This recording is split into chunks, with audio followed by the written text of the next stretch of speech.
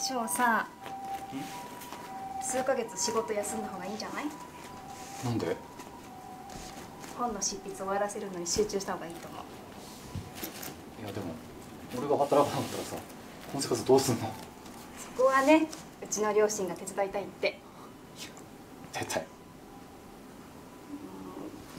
この話するの嫌がるの知ってるけどさでも結局は生活安定するわけだしいずれ私のものになるんだから。いくらもらおうと問題ないでしょ。なんでそんな顔するの？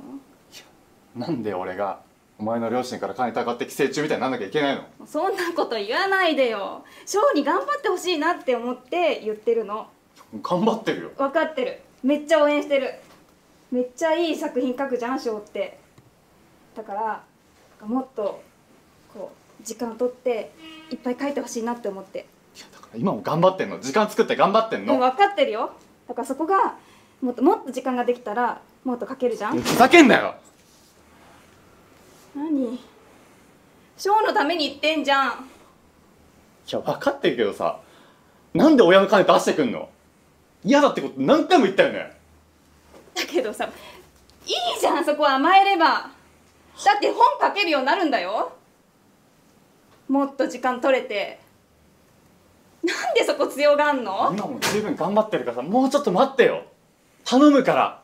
待ってるってば応援したいって思ってるから言ってんの。分かってるけどだからもうちょっと待って。だからもう親の金はもう嫌なんだよ。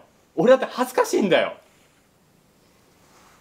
じゃあ聞くけどさ10年間に1本しか書けなくてどうやって生活安定させんの？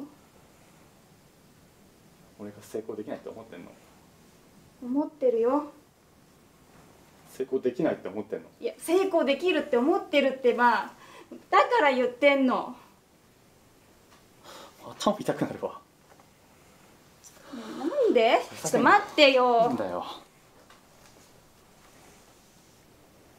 もうちょっと本書くのに集中してほしいってそれだけだよ。頑張ってるって。なんでそこで強がんの？強がって悪いかよ。俺だってもう頑張ってんの。お前のために頑張ってんの。俺のためもあるしでも一番お前のため。わかる？じゃあもうちょっと集中して。集中してるよ。頑張ってんの。分かってるってばもうなんで、それ待ってよ